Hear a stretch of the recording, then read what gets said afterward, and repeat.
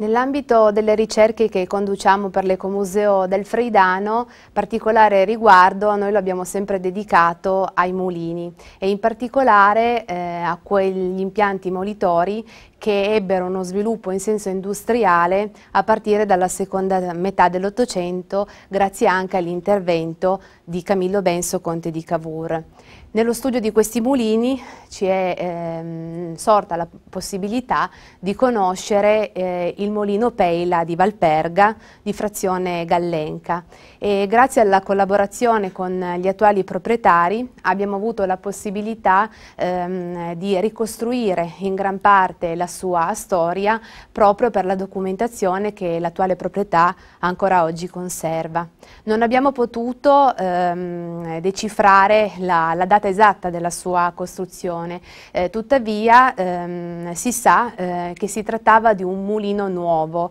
che proprio come il mulino nuovo di Settimo Torinese venne costruito dopo il 1851 ehm, in seguito eh, all'abolizione della legge sulle banalità, cioè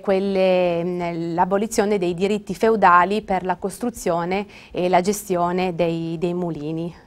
Eh, L'articolo indaga quindi la ricostruzione storica delle vicende legate alla famiglia e l'evoluzione del nucleo eh, appunto del, del, Molino Peila, si sofferma anche eh, sulla roggia di Favria che è il canale motore che dà la forza eh, ancora oggi al mulino e si sofferma poi anche all'importante intervento delle manifatture di Cournier appunto nel, lungo il canale eh, di, di, Favria. Per noi dell'Ecomuseo indagare la storia del Molino Peila è stato particolarmente importante perché ci ha permesso di allargare lo sguardo anche al canavese e quindi creare un percorso conoscitivo da Settimo al canavese indagando i mulini ma anche ehm, aprendo eh, l'approfondimento su un altro tipo di impianto che sono le fornaci a cui vorremmo poi dedicare un prossimo articolo.